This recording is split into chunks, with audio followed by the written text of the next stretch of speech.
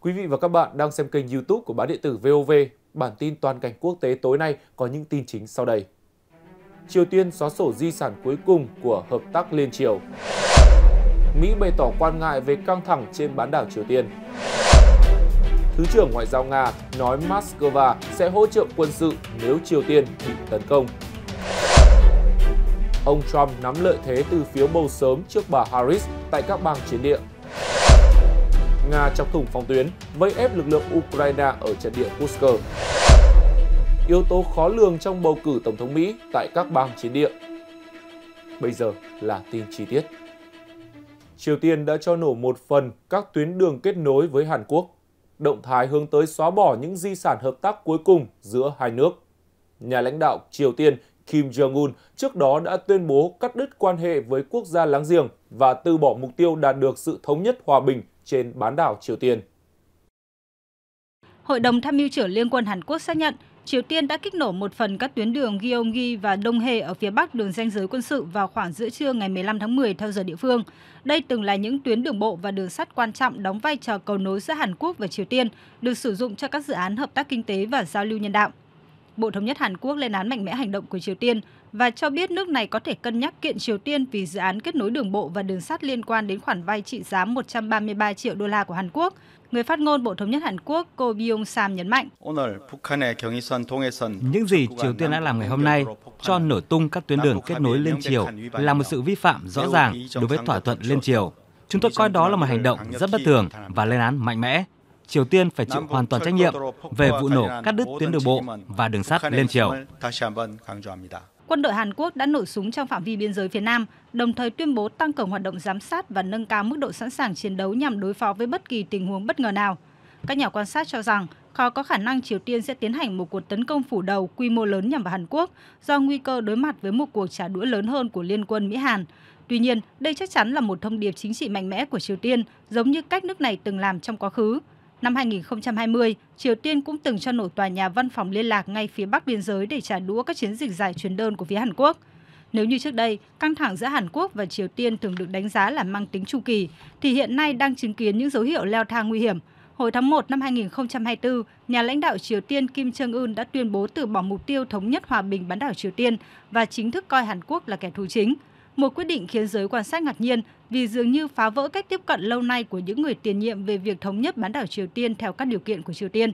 Tuần trước, Triều Tiên tuyên bố sẽ đóng cửa vĩnh viễn biên giới với Hàn Quốc và xây dựng các công trình phòng thủ tiền tuyến. Các quan chức Hàn Quốc cho biết, kể từ đầu năm 2024, Triều Tiên cũng đã bổ sung các rào chắn chống tăng và đặt mìn dọc biên giới. Chính quyền Gyeonggi, lân cận thủ đô Seoul đã chỉ định 11 khu vực biên giới liên triều trong tỉnh này là khu vực nguy hiểm, trong khi chính quyền thành phố Paju cho biết người dân khu vực này đang cân nhắc việc di rời khỏi nơi ở như trong tình trạng chiến tranh. Bộ Ngoại giao Trung Quốc ngày 15 tháng 10 cho biết căng thẳng trên bán đảo Triều Tiên không phù hợp với lợi ích chung của tất cả các bên và ưu tiên hàng đầu là tránh làm gia tăng thêm mâu thuẫn. Trả lời câu hỏi của phóng viên tại buổi họp báo thường kỳ ngày hôm qua, người phát ngôn Bộ Ngoại giao Trung Quốc Mao Ninh cho rằng, với tư cách là nước láng giềng của bán đảo, Trung Quốc quan tâm về diễn biến của tình hình trên bán đảo và các xu hướng trong quan hệ giữa Triều Tiên và Hàn Quốc. Căng thẳng trên bán đảo không phù hợp với lợi ích chung của tất cả các bên. Ưu tiên hàng đầu là tránh căng thẳng leo thang hơn nữa. Bà cho biết thêm, lập trường của Trung Quốc trong việc cam kết duy trì hòa bình, ổn định trên bán đảo và thúc đẩy giải quyết chính trị vấn đề bán đảo là không thay đổi. Trung Quốc hy vọng tất cả các bên sẽ cùng nhau hợp tác để đạt được mục tiêu này. Bộ Ngoại giao Triều Tiên ngày 11 tháng 10 cáo buộc Hàn Quốc đã sử dụng máy bay không người lái xâm nhập vào không phận của nước này và cho rằng đây là hành động khiêu khích chính trị, quân sự, xâm phạm chủ quyền và an ninh của Triều Tiên. Em gái nhà lãnh đạo Triều Tiên Kim Yo Chung cũng đã lên tiếng cảnh cáo nếu máy bay không người lái của Hàn Quốc vượt qua biên giới hai nước một lần nữa thì sẽ gây ra thảm họa nghiêm trọng. Tuy nhiên, phía quân đội Hàn Quốc đã phủ nhận việc này. Vào ngày 15 tháng 10, Triều Tiên đã cho nổ một phần đường cao tốc liên triều, phía bắc đường phân giới quân sự giữa hai nước. Hàn Quốc đã cáo buộc nước này vi phạm các thỏa thuận liên triều đồng thời bắn cảnh cáo về phía nam đường phân giới như một hành động đáp trả. Các động thái giữa Triều Tiên và Hàn Quốc khiến tình hình trên bán đảo Triều Tiên ngày càng căng thẳng hơn. Theo truyền thông nhà nước Triều Tiên, khoảng 1,4 triệu thanh niên, bao gồm sinh viên và cán bộ đoàn thanh niên, đã nộp đơn xin gia nhập hoặc trở lại quân đội trong tuần này. Theo bản tin của KCNA, thì những thanh niên xin nhập ngũ quyết tâm chiến đấu trong một cuộc chiến tranh thần thánh, tiêu diệt kẻ thù bằng vũ khí cách mạng. Nếu chiến tranh nổ ra, Hàn Quốc sẽ bị xóa khỏi bản đồ. Vì họ muốn chiến tranh, chúng tôi sẵn sàng chấm dứt sự tồn tại của họ. Bản tin của KCNA cho biết, tuyên bố của Triều Tiên về việc có hơn một triệu thanh niên nộp đơn xin gia nhập quân đội nhân dân Triều Tiên diễn ra vào thời điểm căng thẳng trên bán đảo Triều Tiên đang lên cao. Hôm 15 tháng 10, Triều Tiên đã cho nổ tung một số đoạn đường sắt và đường bộ liên triều. Phía quân đội Hàn Quốc phải nổ súng cảnh cáo. Đây từng là những tuyến đường bộ và đường sắt quan trọng, đóng vai trò cầu nối giữa Hàn Quốc và Triều Tiên, được sử dụng cho các dự án hợp tác kinh tế và giao lưu nhân đạo. Bình Nhưỡng cũng cáo buộc Seoul đưa các máy bay không người lái qua thủ đô. Trước đó thì hồi tháng 5, hai miền Triều Tiên đã có những xung đột khi Triều Tiên thả những quả bóng bay chứa rác sang lãnh thổ Hàn Quốc bán đảo Triều Tiên đang chứng kiến thêm nhiều diễn biến căng thẳng, trong đó có việc Hàn Quốc công bố những khu vực nguy hiểm trên biên giới liên triều. Trong khi đó, KCNA đưa tin khoảng 1,4 triệu thanh niên nước này nhập ngũ chỉ trong 2 ngày. Mối quan hệ liên triều đặc biệt xấu đi nhanh chóng trong vài ngày qua khi Triều Tiên cho nổ tung một số đoạn đường bộ và đường sắt kết nối với Hàn Quốc, khiến quân đội Hàn Quốc buộc phải nổ súng cảnh cáo. Bộ Thống nhất Hàn Quốc cực lực lên án động thái này của Triều Tiên đã khiến các tuyến đường bộ và đường sắt liên triều bị cắt đứt hoàn toàn. Người phát ngôn Bộ Thống nhất Hàn Quốc Ku Byung-sam khẳng định những gì Triều Tiên đã làm ngày hôm nay cho nổ tung các tuyến đường liên triều ở phía Bắc, tuyến Gyeonggui và tuyến Đông He là một sự vi phạm rõ ràng đối với thỏa thuận liên triều. Chúng tôi coi đó là một hành động rất bất thường và chính phủ Hàn Quốc lên án mạnh mẽ hành động này. Triều Tiên phải chịu hoàn toàn trách nhiệm về vụ nổ cắt đứt tuyến đường bộ và đường sắt liên triều. Cùng ngày, Hàn Quốc tuyên bố 11 khu vực thuộc biên giới liên triều là khu vực nguy hiểm. Việc chỉ định các khu vực như vậy là biện pháp để bảo vệ tính mạng và sự an toàn của người dân ở các khu vực biên giới.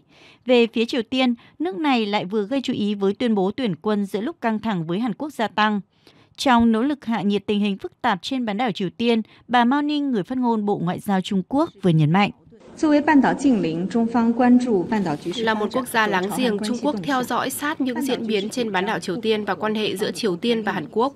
Căng thẳng trên bán đảo Triều Tiên không có lợi cho bất kỳ bên nào và ưu tiên bây giờ là tránh bất cứ hành động có thể khiến căng thẳng gia tăng hơn nữa. Trung Quốc cam kết bảo vệ hòa bình và ổn định trên bán đảo và sẽ không thay đổi lập trường của mình về giải quyết căng thẳng trên bán đảo Triều Tiên bằng con đường chính trị. Chúng tôi cũng hy vọng tất cả các bên có thể nỗ lực vì mục tiêu này. Thứ trưởng Ngoại giao Nga Andrei Rudenko hôm qua cũng tuyên bố Nga sẽ hỗ trợ quân sự cho Triều Tiên nếu nước này bị tấn công, căn cứ theo quy định trong Hiệp ước quan hệ đối tác chiến lược toàn diện Nga-Triều Tiên. Giới chuyên gia nhận định, với động thái phá hủy các tuyến đường vốn được coi là biểu tượng hợp tác liên triều, Triều Tiên đang muốn gửi đi thông điệp rõ ràng cho thấy nước này không còn sẵn sàng đàm phán với Hàn Quốc. Ông Yang Mu Jin. Hiệu trưởng Đại học Nghiên cứu Triều Tiên tại Seoul nhận định đây là một biện pháp quân sự thực tế liên quan tới hệ thống hai nhà nước thù địch mà Triều Tiên thường xuyên đề cập. Với những gì đang diễn ra trên bán đảo Triều Tiên, có thể thấy mức độ căng thẳng giữa Hàn Quốc và Triều Tiên đang bị đẩy lên rất cao. Triều Tiên thậm chí còn cảnh báo sẽ tiến hành một cuộc tấn công bằng pháo binh quy mô lớn để trả đũa việc máy bay không người lái của Hàn Quốc xâm nhập địa phận Bình Nhưỡng ngày 15 tháng 10, Mỹ đã lên tiếng kêu gọi Triều Tiên chấm dứt các hành động làm tăng nguy cơ xung đột sau khi Bình Nhưỡng cho nổ tung các tuyến đường nối với Hàn Quốc, vốn từng được coi là biểu tượng của sự hợp tác liên triều. Người phát ngôn Bộ Ngoại giao Mỹ Matthew Miller ngày 15 tháng 10 cho biết, chúng tôi đang theo dõi tình hình tại Triều Tiên và phối hợp chặt chẽ với đồng minh Hàn Quốc. Chúng tôi sẽ tiếp tục thúc giục Triều Tiên giảm căng thẳng và ngừng mọi hành động làm gia tăng nguy cơ xung đột Chúng tôi khuyến khích Triều Tiên quay lại với đối thoại và ngoại giao. Triều Tiên đã tiến hành các vụ nổ gần đường phân giới quân sự vào thứ Ba sau khi quân đội nước này công bố kế hoạch vào tuần trước nhằm tách biệt hoàn toàn với lãnh thổ Hàn Quốc. Bình luận về tuyên bố gần đây của Triều Tiên về việc máy bay không người lái Hàn Quốc xâm nhập Bình Nhưỡng, ông Miller nói, về hành động của Triều Tiên thì chúng tôi thấy họ đang tiếp tục có những động thái làm gia tăng căng thẳng Chúng tôi sẽ khuyến khích họ đi theo hướng ngược lại để giảm căng thẳng và ngăn chặn mọi nguy cơ làm tăng xung đột. Chia sẻ với hãng tin TASS, Thứ trưởng Ngoại giao Andrei Rudenko tuyên bố Nga sẽ hỗ trợ quân sự cho Triều Tiên nếu quốc gia này bị tấn công, theo quy định của Hiệp ước giữa Moscow và Bình Nhưỡng. Ông Andrei Rudenko ngày 15 tháng 10 chia sẻ với hãng tin TASS, Nếu Cộng hòa Dân chủ Nhân dân Triều Tiên phải đối mặt với hành động xâm lược, tất cả các biện pháp cần thiết sẽ được thực hiện theo luật pháp của chúng tôi. Và theo luật pháp của Triều Tiên, Thứ trưởng Rudenko cho biết, các điều khoản có hiệu lực đó nằm trong hiệp ước về quan hệ đối tác chiến lược toàn diện giữa hai quốc gia đã được đệ trình lên Duma quốc gia để phê chuẩn.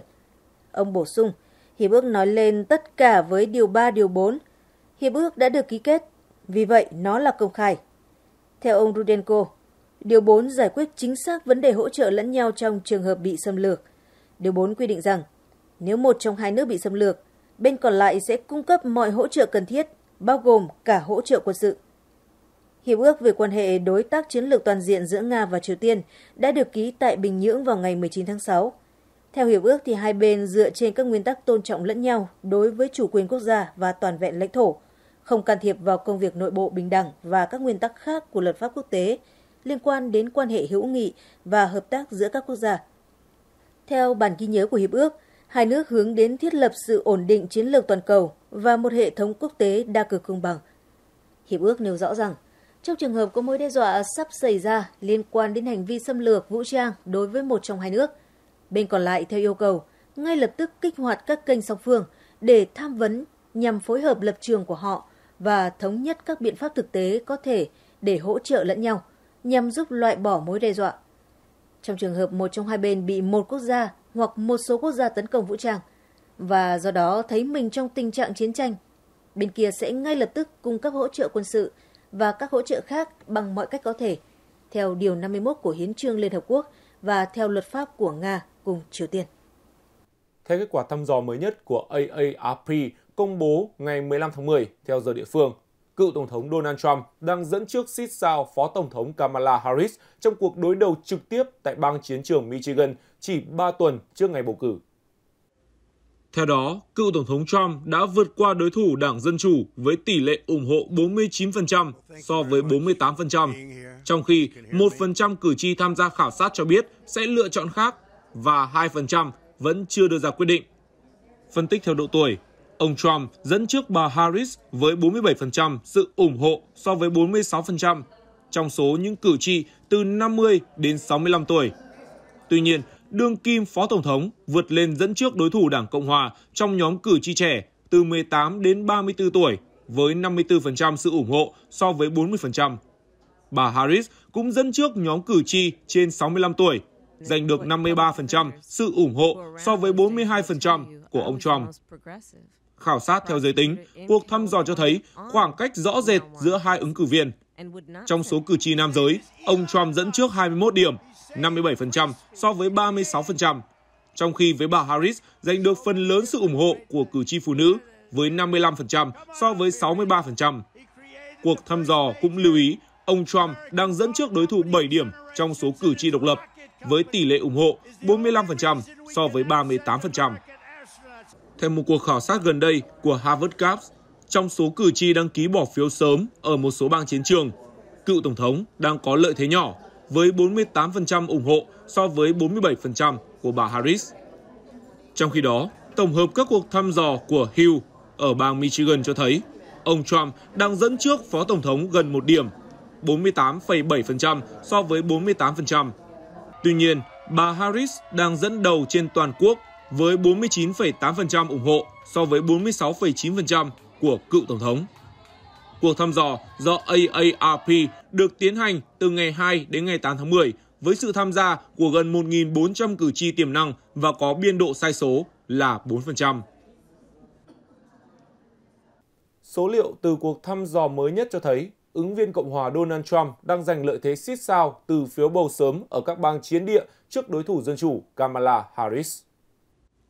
Tờ The Hill dẫn số liệu từ cuộc thăm dò được Trung tâm Nghiên cứu Chính trị của Đại học Harvard và công ty nghiên cứu và phân tích thị trường Harris Poll công bố hôm 14 tháng 10 cho thấy có đến 48,2% cử tri bỏ phiếu sớm ở các bang chiến địa cho biết họ chọn ông Trump. Trong khi đó, tỷ lệ này đối với ứng viên Dân Chủ, Phó Tổng thống Mỹ Kamala Harris được cho là dao động từ 46,2% đến 47%. Có từ 5 đến 5,5% cử tri ở các bang chiến địa nói rằng họ hiện chưa chắc chắn liệu nên bỏ phiếu cho ai. Chiến lược của ông Trump tại những bang chiến địa đang hiệu quả. chuyên gia Mark Penn, đồng giám đốc tổ chức cuộc thăm dò, nói với tờ The Hill. Tuy nhiên, số liệu khảo sát từ các cử tri bỏ phiếu sớm tính trên toàn nước Mỹ lại cho thấy bà Harris đang bỏ xa ông Trump với tỷ lệ ủng hộ lần lượt là 51% và 43%. Được biết, cuộc thăm dò trên được thực hiện trong khoảng thời gian từ ngày 11 đến ngày 13 tháng 10 với 3.145 cử tri đã bỏ phiếu sớm tham gia. Trong số đó, có gần 900 cử tri tới từ các bang chiến địa. Hai ứng cử viên Tổng thống Mỹ, bà Harris và ông Trump vận động tranh cử ở Pennsylvania trong cuộc đua nước rút cuối cùng cho cuộc bầu cử Tổng thống Mỹ, dự kiến diễn ra ngày 5 tháng 11. Cả hai ứng cử viên Tổng thống đều tổ chức các sự kiện vận động tranh cử tại Pennsylvania vào tối 15 tháng 10. Một lần nữa thu hút sự chú ý vào tiểu bang chiến trường hàng đầu trong cuộc bầu cử này. Đảng Dân Chủ đã chi nhiều hơn Đảng Cộng Hòa nói chung ở Pennsylvania kể từ khi Phó Tổng thống Kamala Harris trở thành ứng cử viên của Đảng. Nhưng Đảng Cộng Hòa đang chuẩn bị nắm giữ một lợi thế quảng cáo hẹp trong chặng đua cuối cùng. Các đảng cũng đang đặt cược khác nhau và các thị trường truyền thông hàng đầu cho cuộc chạy nước rút cuối cùng với Đảng Dân Chủ đầu tư nhiều tiền hơn vào Philadelphia và Đảng Cộng Hòa đầu tư nhiều hơn vào Pittsburgh. Trong tổng số gần 1,5 tỷ đô la đã được chi cho quảng cáo tổng thống kể từ khi bà Kamala Harris trở thành ứng cử viên của Đảng Dân Chủ, hơn 1 phần 5, khoảng 312 triệu đô la đã nhắm vào Keystone State con số này cao hơn gần 90 triệu đô la so với tiểu bang có chi tiêu quảng cáo nhiều thứ hai là Michigan. Đảng Dân Chủ đã chi nhiều hơn Đảng Cộng Hòa trong suốt thời gian đó, khoảng 174,3 triệu đô la so với 136,9 triệu đô la. Nhưng trong hai tuần đầu tiên của tháng 10, Đảng Cộng Hòa đã nắm được một lợi thế nhỏ, chi nhiều hơn Đảng Dân Chủ khoảng 31,2 triệu đô la so với 30,3 triệu đô la và trong tương lai, Đảng Cộng Hòa cũng có nhiều thời gian quảng cáo hơn một chút. Theo dữ liệu của Ad Impact, các nhà quảng cáo tổng thống của Đảng Cộng Hòa có tổng cộng khoảng 52,1 triệu đô la trong các đơn đặt hàng quảng cáo còn lại của Pennsylvania, trong khi Đảng Dân Chủ có khoảng 49,7 triệu đô la. Trong khi đó, cựu Tổng thống Bill Clinton hôm thứ Hai đã kêu gọi người dân Georgia hãy mang lại chiến thắng cho Phó Tổng thống Kamala Harris, nói với họ rằng các bạn phải nhận ra rằng toàn bộ cuộc bầu cử có thể được quyết định tại đây. Nếu bạn nhìn vào tất cả các cuộc bầu cử gần đây ở Georgia, tất cả đều rất xích sao vì chúng tôi đã chiến đấu hết mình. Bà Clinton phát biểu khi vận động tranh cử ở Columbus, Georgia trước khi cuộc bỏ phiếu sớm bắt đầu tại tiểu bang này. Ông Clinton cho biết, Đảng Dân Chủ đã giành chiến thắng tại Georgia vào năm 2020 và hai cuộc đua vào Thượng viện gần đây không chỉ vì họ đã làm tốt ở Georgia thành trì của Đảng Dân Chủ, mà còn vì ở bất kỳ nơi nào có cơ hội bên ngoài Atlanta, chúng tôi đều vượt trội hơn hẳn. Vì vậy, đó là những gì cuộc bầu cử này sẽ diễn ra. Nếu bạn thực sự muốn, bạn có thể thắng. Và bạn sẽ tự hào về bản thân mình trong suốt quãng thời gian còn lại. Và con cháu bạn sẽ biết ơn. Và nếu bạn quyết định làm điều gì đó tốt hơn trong vài ngày tới, bạn sẽ hối hận trong suốt quãng đời còn lại của mình. Ông nói. Ông bảo vệ Phó Tổng thống Kamala Harris trước những cuộc tấn công của Đảng Cộng Hòa về vấn đề nhập cư, bác bỏ việc họ gọi bà Harris là chủ biên giới và chỉ trích cựu Tổng thống Donald Trump vì đã góp phần phá hoại dự luật an ninh biên giới lưỡng đảng. Ông Clinton đã vận động tranh cử tại các cộng đồng nông thôn ở miền Đông và miền Nam Georgia cho Harris. Cựu Tổng thống Barack Obama cũng đã tham gia chiến dịch tranh cử cho Harris, phát biểu vào tuần trước tại Pennsylvania.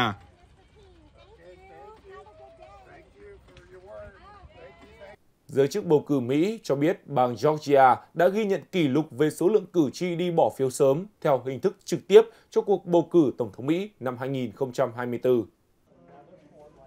Ít nhất 252.000 cử tri đã đi bỏ phiếu tại các địa điểm tổ chức bầu cử sớm của bang, tính đến 16 giờ chiều ngày 15 tháng 10 theo giờ địa phương. Con số này gần gấp đôi so với 136.000 người tham gia trong ngày đầu tiên của cuộc bỏ phiếu sớm của Mỹ năm 2020.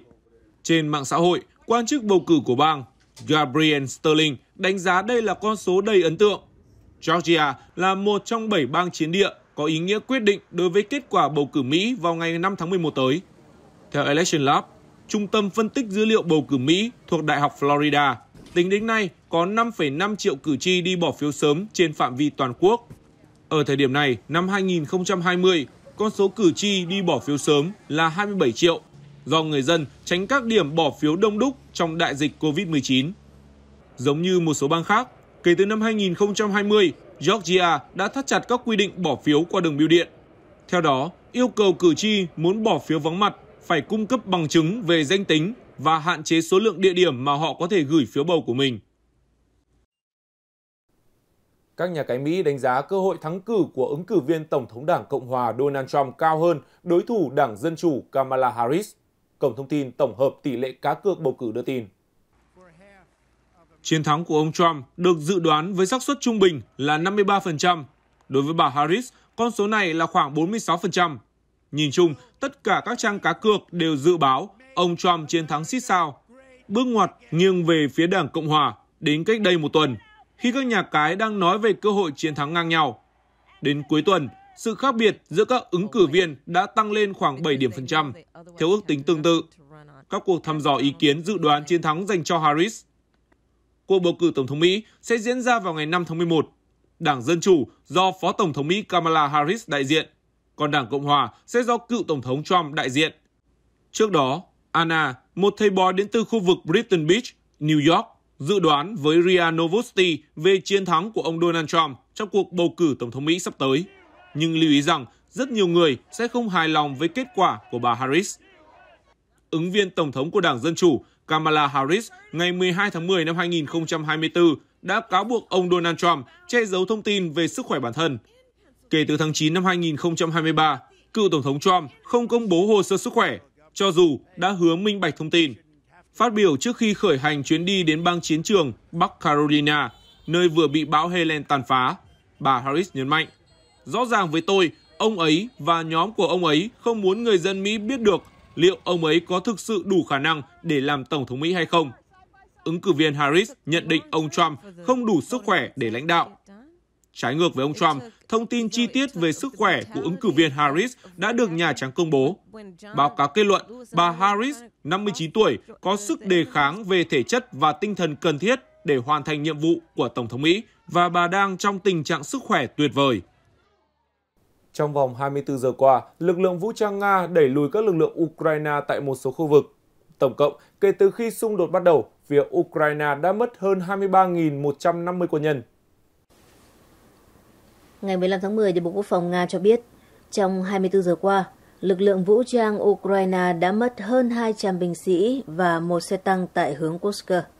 Quân đội Nga đã đẩy lùi 8 cuộc phản công của phía Ukraine – đồng thời tiếp tục các hoạt động tấn công các điểm tập trung binh lính và thiết bị, gây nhiều thiệt hại cho các lực lượng vũ trang Ukraine tại 19 khu vực dân cư ở tỉnh Kursk. Tướng Alodinov, Phó tránh văn phòng chính trị quân sự của lực lượng vũ trang Nga, đồng thời là chỉ huy lực lượng đặc biệt Akhmat tuyên bố rằng tuyến phòng thủ của lực lượng vũ trang Ukraine tại khu vực Kursk có thể sụp đổ trong vòng một tháng.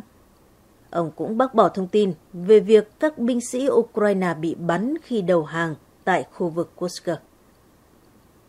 Tổng cộng kể từ khi xung đột bắt đầu, phía Ukraine đã mất hơn 23.150 quân nhân, hàng trăm xe tăng, xe chiến đấu bộ binh, xe bọc thép các loại, 37 hệ thống phóng rocket đa nòng, bao gồm hệ thống HIMARS và các hệ thống MLRS sản xuất tại Mỹ.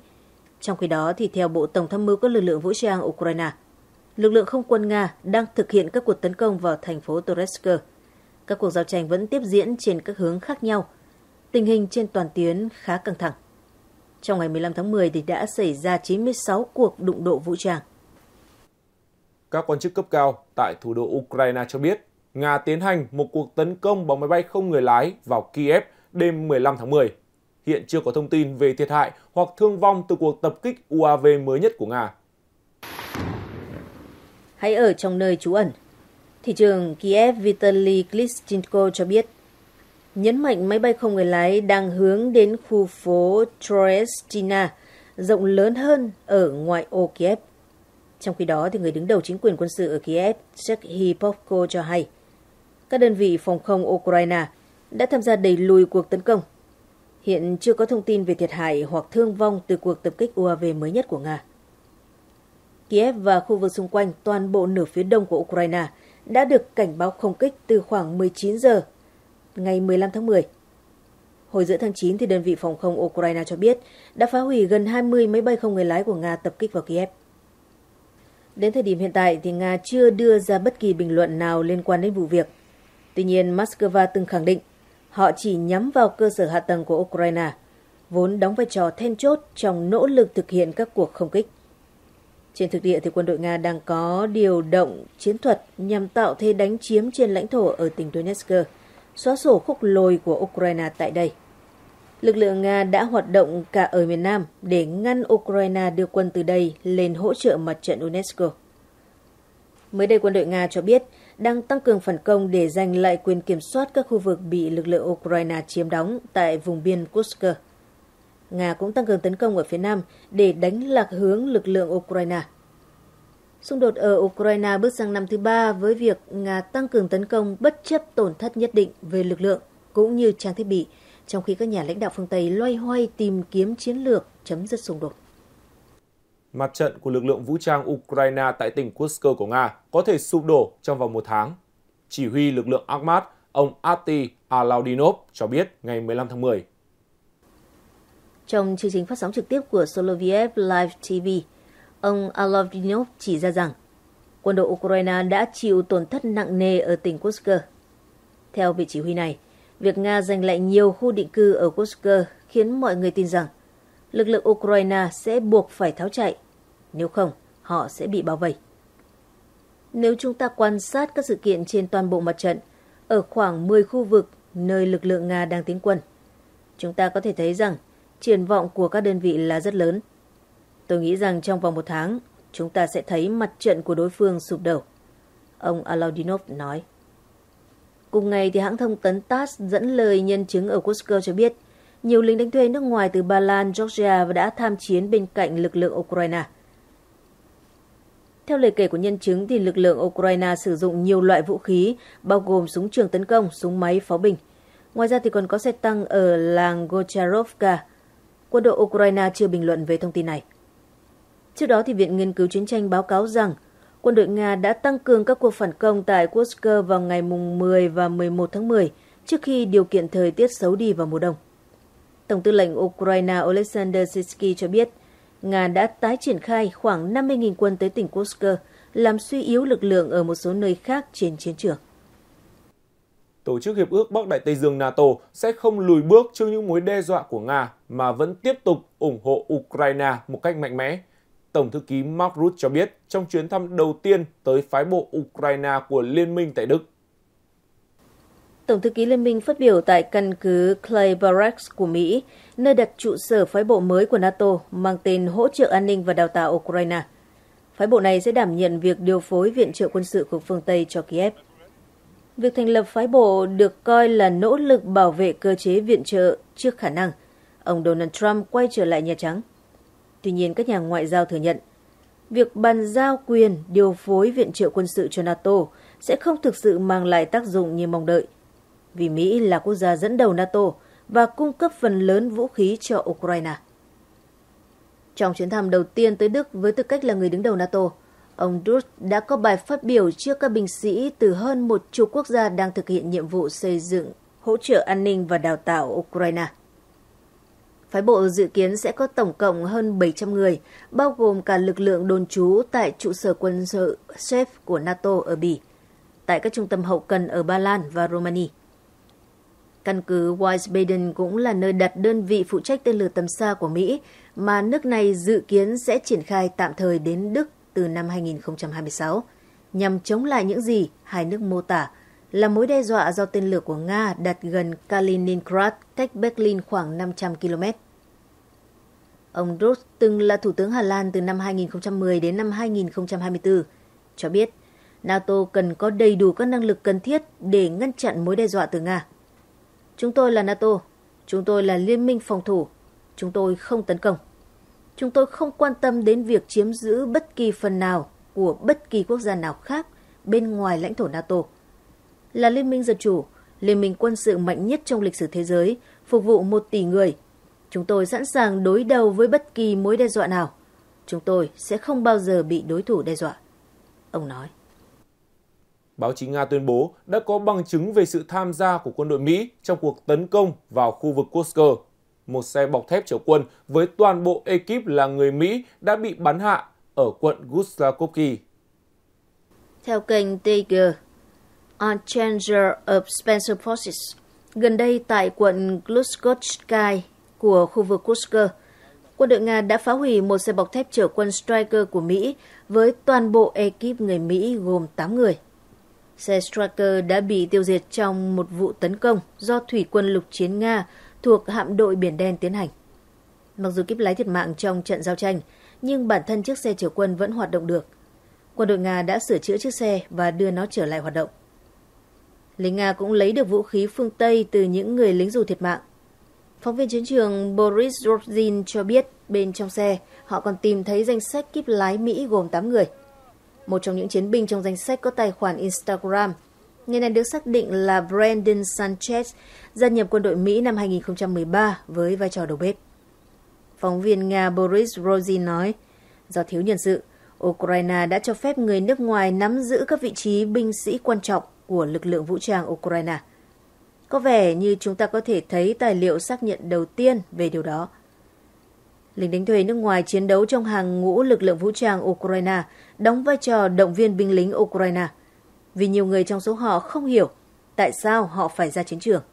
Họ không chiến đấu, họ giúp nâng cao tinh thần. Một huấn luyện viên của trung đoàn Leningrad với biệt hiệu Baton nói. Chỉ 3 tuần trước cuộc bầu cử Tổng thống Mỹ được dự đoán là vô cùng xí sao, một yếu tố khó lường nữa đang xuất hiện. Tại mỗi bang chiến địa có ít nhất một ứng cử viên tổng thống của đảng thứ ba hoặc ứng viên độc lập trên lá phiếu. Trong cuộc bầu cử Tổng thống Mỹ năm nay, tại mỗi bang chiến địa đều có ít nhất một ứng cử viên của đảng thứ ba hoặc ứng viên độc lập trên lá phiếu.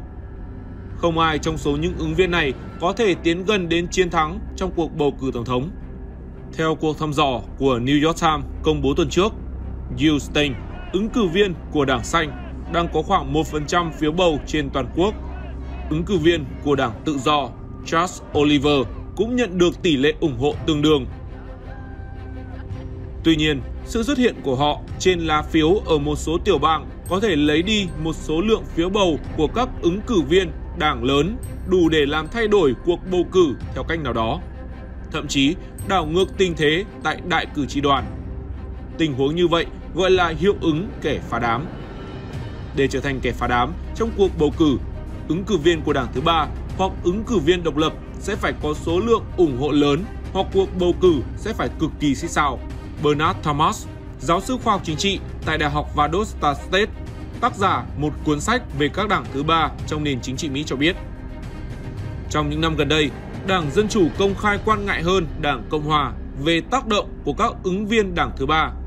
Cuộc bầu cử lần này cũng không ngoại lệ.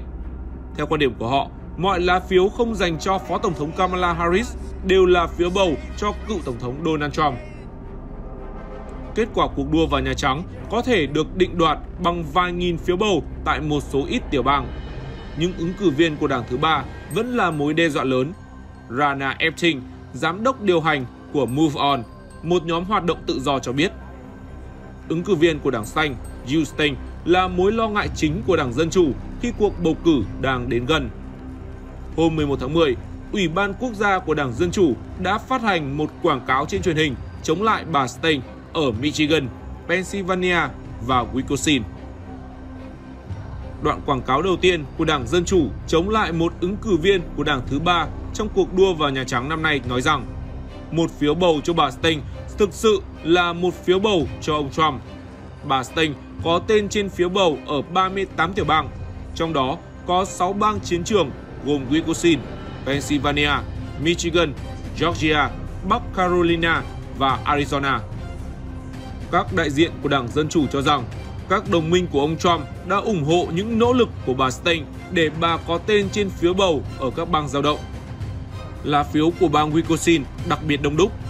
Ngoài ông Trump và bà Harris, cử tri có thể lựa chọn bà Stein, ông Oliver, ứng cử viên độc lập Cornel West, Robert Kennedy Jr. Ứng cử viên độc lập nhưng hiện đã dừng tranh cử và tuyên bố ủng hộ ông Trump, Randall Terry, ứng cử viên của Đảng Hiến pháp và Claudia de la Cruz, ứng cử viên của Đảng Xã hội Chủ nghĩa và Giải phóng. Bang Wisconsin và bà Sting là những vấn đề đáng lo ngại của Đảng Dân Chủ. Năm 2016, bà Sting được 31.072 phiếu tại Wisconsin, lớn hơn biên độ 22.748 phiếu mà ông Trump đã đánh bại bà Hillary Clinton tại bang này. Khi đó, nhiều thành viên của Đảng Dân Chủ cho rằng thất bại tại đây của bà Hillary Clinton là do mất phiếu bầu vào tay bà Stein. Tuy nhiên, ông Thomas cho biết, theo những gì ông nghiên cứu, vấn đề không đơn giản như những gì Đảng Dân Chủ đã nói. Nhiều người bỏ phiếu cho bà Stein khó có thể bỏ phiếu cho bất kỳ ứng cử viên nào khác. Chỉ một số người sẽ chọn ông Trump nếu bà không có tên trong lá phiếu. Đảng Tự do thường liên kết chặt chẽ hơn với Đảng Cộng Hòa và có khả năng bỏ phiếu chéo hơn, nhận được tới 106.674 phiếu tại bang Wisconsin trong cuộc bầu cử năm 2016. Ông Thomas cho biết, kẻ phá đám thực sự gần đây nhất là Ralph Nader, ứng cử viên của Đảng Xanh, người đã giành được 97.421 phiếu tại Florida vào năm 2000. Al Gore, ứng cử viên của Đảng Dân Chủ năm đó, đã thua tại bang này với chỉ cách biệt 531 phiếu bầu. Nhìn chung, nhiều cử tri của Đảng thứ ba sẽ không đi bỏ phiếu nếu ứng viên của họ không có tên trên lá phiếu. Ông Thomas cho hay. Julia Azari, giáo sư khoa học chính trị, người nghiên cứu về bầu cử Mỹ cũng cho rằng cuộc đua năm nay sẽ có vẻ như là sát nút đến mức số phiếu của đảng thứ ba sẽ còn lớn hơn cách biệt thắng thua của hai đảng lớn. Tuy nhiên bà cho biết rất khó để xác định liệu ông Trump hay bà Harris sẽ được hưởng lợi nhiều hơn. Những gì chúng tôi dự đoán đều dựa trên giả định về ứng viên mà cử tri đảng thứ ba sẽ thích lựa chọn hơn nếu không có tên ứng cử viên mà họ ủng hộ, bà Azari nói. Trong nhiều tháng, các nhóm vận động của Đảng Dân Chủ đã nhắm mục tiêu vào các ứng cử viên bên ngoài bằng cách tìm cách ngăn họ có tên trên lá phiếu bầu. Kết quả không phải lúc nào cũng như họ mong muốn. Các nhóm này đã chỉ ra bằng chứng về việc đội ngũ vận động của Đảng Cộng Hòa và đồng minh của ông Trump đã giúp một số ứng cử viên đảng thứ ba hoặc ứng viên độc lập có tên trên phiếu bầu. Họ cho rằng đây là nỗ lực nhằm chia rẽ và làm suy yếu lá phiếu của Đảng Dân Chủ.